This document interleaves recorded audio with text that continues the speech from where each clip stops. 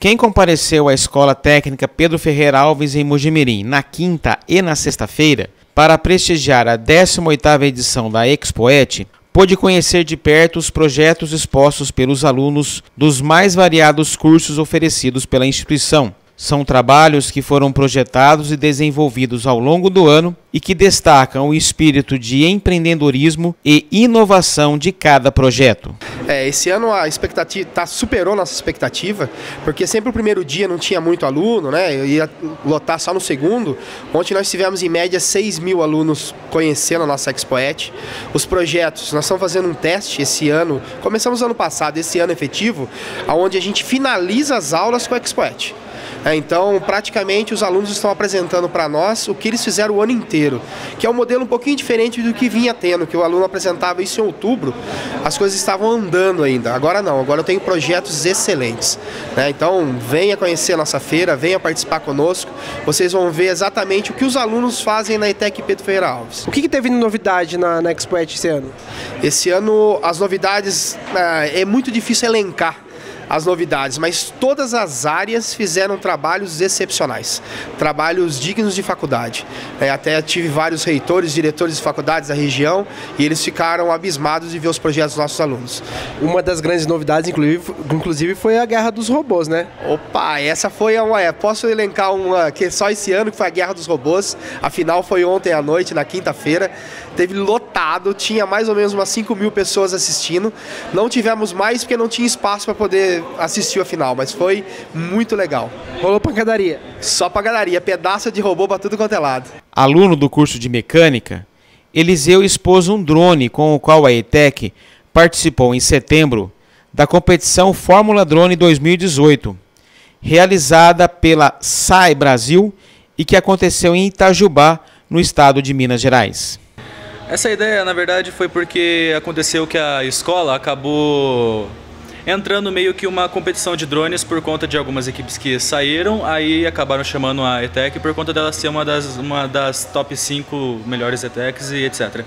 E ela nunca tinha participado da Copa Drone.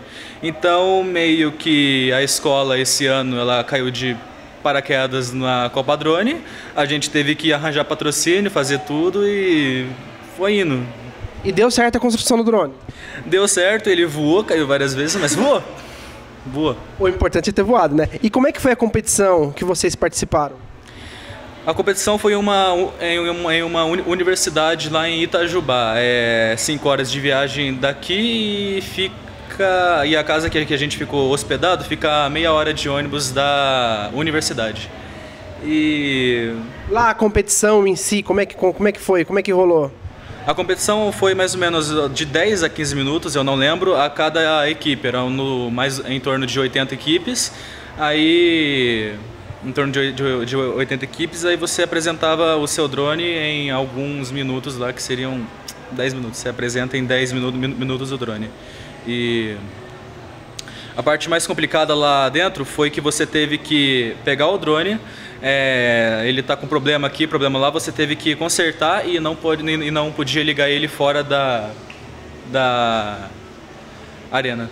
Muitos dos projetos expostos na Expoet são aproveitados pela instituição e utilizados em seu dia a dia. Outros são voltados para uso externo, como é o caso de um site que servirá para o SAMU.